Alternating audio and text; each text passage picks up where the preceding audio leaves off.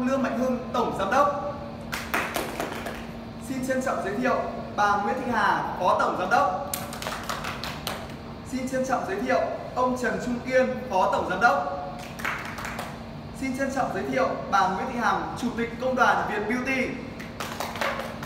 Thay mặt ban tổ chức cũng xin nhiệt liệt chào mừng sự hiện diện của các anh chị đang là trưởng phó phụ trách các phòng ban cùng toàn thể anh chị nhân viên đang công tác tại Việt Beauty và có mặt trong hội trường ngày hôm nay.